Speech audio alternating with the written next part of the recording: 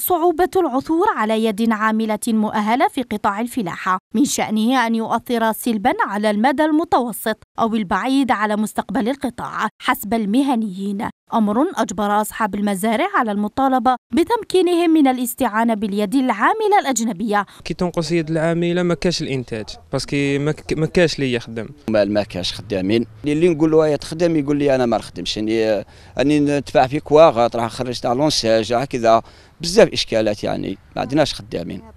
وعندنا مشكل تاع هذوك اللي يجوا اللاجئين هذوك الكحوله هذوك لو كان شوية الدولة تسوي لهم الوضعية ويخلونا نخدموهم.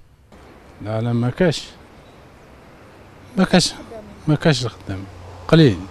أمين الاتحاد الوطني للفلاحين الجزائريين دعا إلى ضرورة تكوين أبناء الفلاحين في تخصصات لها صلة بالفلاحة. كاين نقص كبير في اليد العاملة ونطلبنا إحنا من أولاد الفلاحين طلبنا لهم التكوين formation لأن أولادهم ما يعرفوش وهم كبروا مساكن وعياو لكن لازم أولادهم من وجه خص لازم لهم تكوين خاص هذا اللي نطلبوه في برنامج الدعم اللي راه جاي الاستنجاد باليد العاملة الأجنبية في قطاع الفلاحة بعد خوض الجزائر لتجربة مماثلة في قطاعات البناء والأشغال العمومية خصوصا العمالة الصينية ساهمت من خلال مشاريع عدل في إسكان عدد كبير من الجزائريين فهل ستنجح هذه الأخيرة في تدارك النقص المسجل في محاصيل الاستثمارات الفلاحية الجزائرية؟